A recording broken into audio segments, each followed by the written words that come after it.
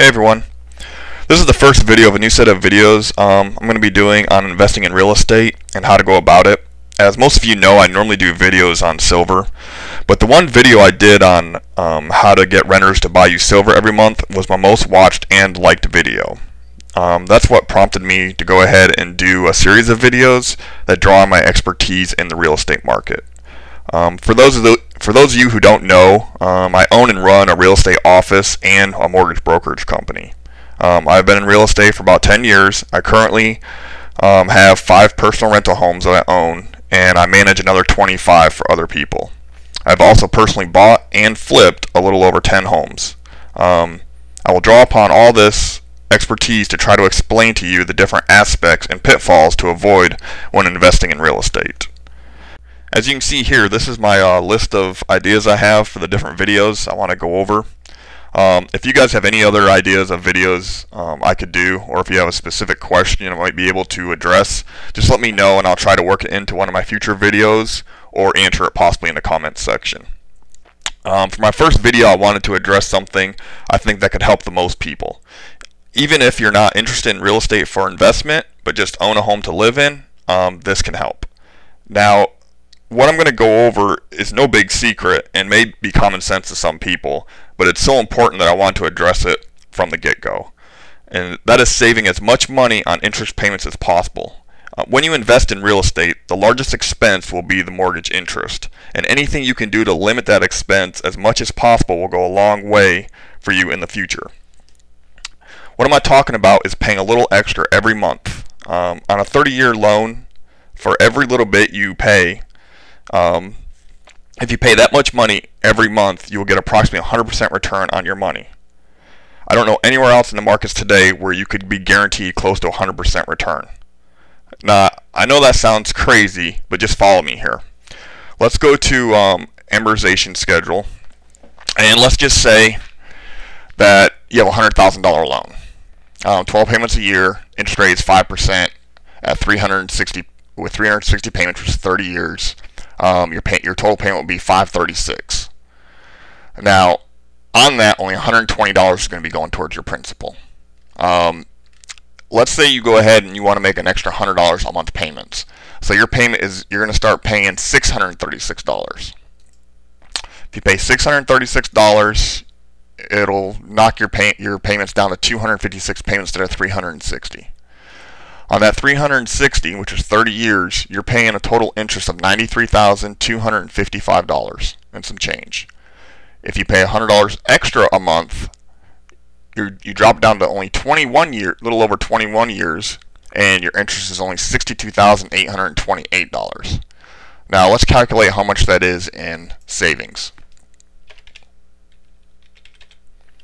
So you go from the $93,255 to 62828 That saves you $30,427 in interest.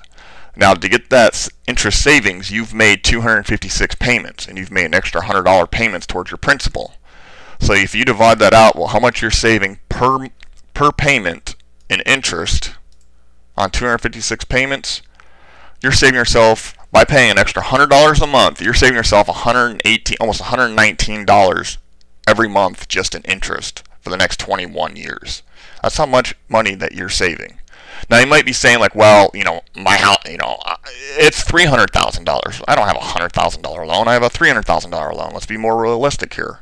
Well, let's let's just try that. Three hundred thousand dollars.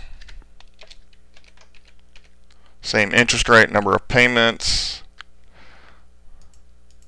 No balloon. Let's calculate that out. Okay, so your payment is going to be sixteen ten total interest is going to be 700 and, I mean $279,765 in interest 30 years okay let's go ahead and change it to 1710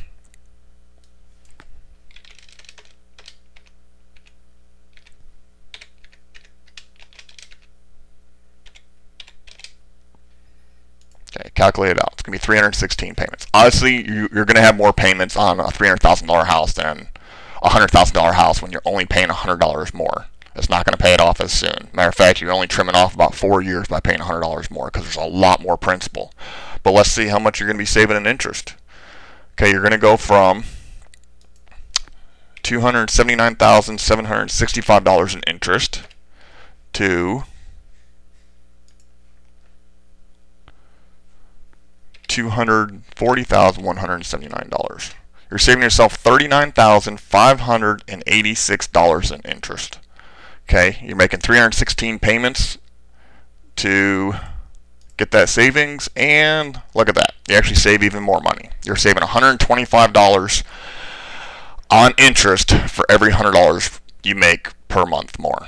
Um, I don't know where else in this market that you can get that kind of return on your money. And you're invest basically investing in something you already own. Just you're trying to limit how much the money the bank has taken from you to have that loan. Um, I know there's people out there like, well, my interest rate is four percent or you know four and a half percent. Well, it still works. You might not get quite as much in savings, but you still get a lot. Let's just say it's 4%. Let's say it's on the lower end of 4% for a 30-year loan. Let's see, let's see what your payments would be. Okay, your payment would be 1432. Let's knock this up to 1532 and see how we do on a 4% loan.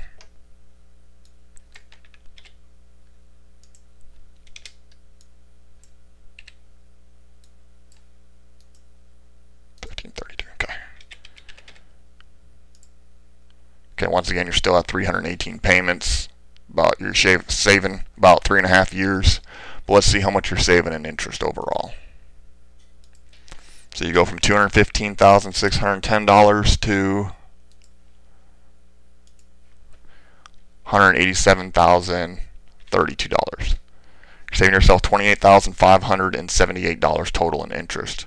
Over 318 months, you're saving yourself almost $90. So you're still at a 90% return on your money even at the low end of 4%. So anyways, guys, I just wanted to give you guys these numbers and actually see them in, in, in reality here. Um, I know a lot of people say, oh, you can pay your mortgage off really fast if you, you know, make a little bit extra every month. Well, people don't realize how much that equates to, and it, it, it can add up quick. So hope you guys uh, like the video, and I will have some more coming. Um, and if you guys have any, like I said, if you have any additional questions, just comment below. I will uh, answer everything I can, and if I can't, I'll go ahead and um, do an, possibly add some additional videos to my list of 10 that I wanted to do. And um, I'm going to go ahead and put a link um, of this amortization calculator um, down below, so you guys can like plug in your real numbers so you can figure out um, what kind of savings that you can get. And you don't have to use this one. This is just the one that I found that I use. Anyways, hope you guys enjoyed the video and hopefully helps you save some money. See you next time.